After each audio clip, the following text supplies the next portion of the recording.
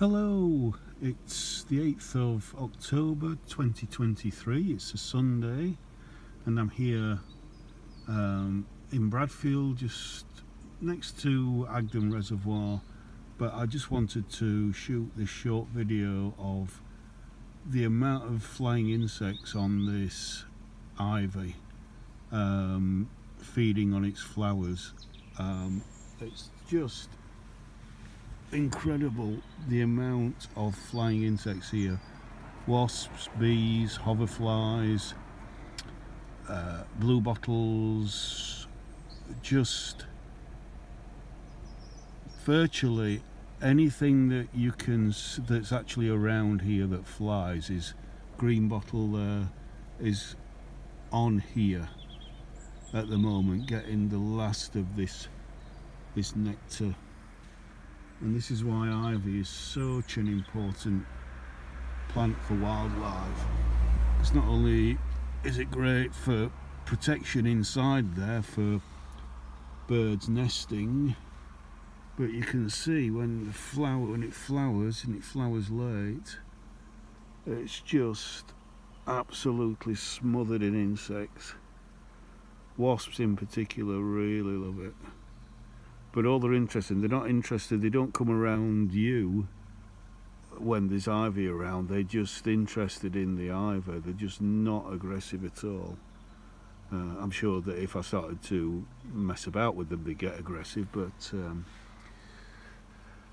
start to flap my hands around in there, they wouldn't uh, be too keen on that, but just I'm always amazed at this time every year when I see this sight. It's just incredible because you think of flying insects um, uh, feeding on nectar in, summer, you know, bees on lavender and um, and even earlier on in the summer was some some of the early cherry blossom or the flowers of the mountain ash, viburnum, things like that. You see bees and and sometimes flies on on them, hoverflies, but October as we go into autumn, you, it's not something that you tend to look out for. But if you do see a good clump of flowering ivy at this time of year, on a warm day, so it's very warm. It's um, 20 Celsius at the moment.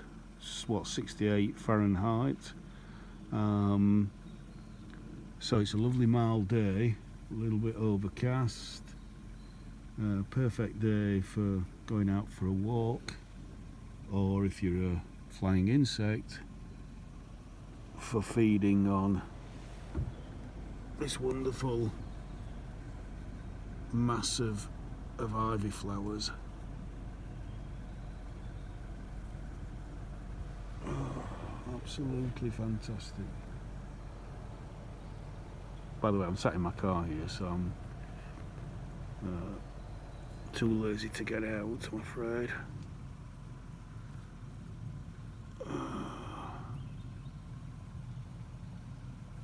So yeah, so that's three and a half minutes. So thought you'd like to have a look at that. So oh, two wasps nearly collided with each other then. So bye for now. Bye for now.